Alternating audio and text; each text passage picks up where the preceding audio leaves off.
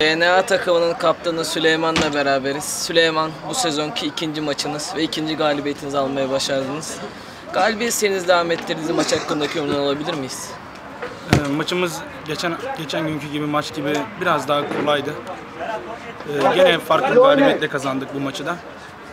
Ee, devamının da inşallah böyle gelmesini istiyoruz. Ben de teşekkür ederim.